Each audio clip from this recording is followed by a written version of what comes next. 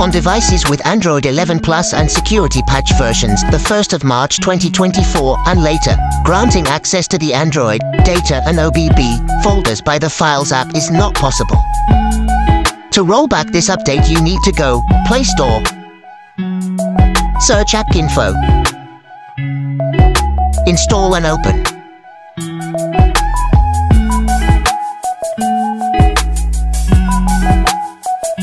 Search file.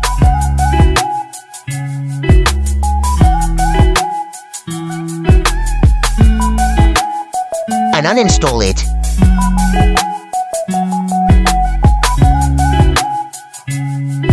Google has released an update to the Files application, Documents UI. This results in an inability to select Android, data and OBB folders to grant permission. The Files application show wrong location.